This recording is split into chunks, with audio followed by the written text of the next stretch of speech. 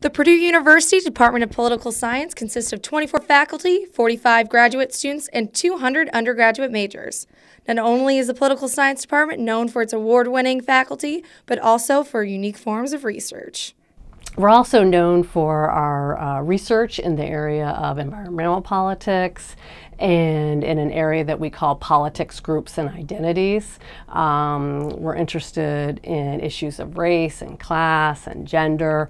The Department of Political Science offers a lot of high impact learning for students. Whether it's traveling to Iowa for the caucus or visiting the Mexican border, students have had hands on learning.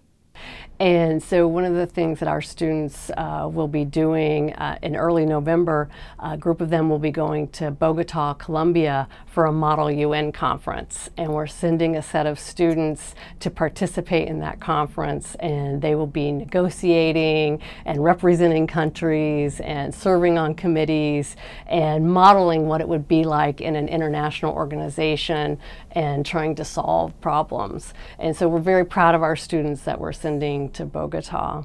One political science student has been so inspired by her political science professors, she hopes to become a professor herself. So there are endless opportunities for students like me who want to become a professor to join in and maybe ask to do work with them.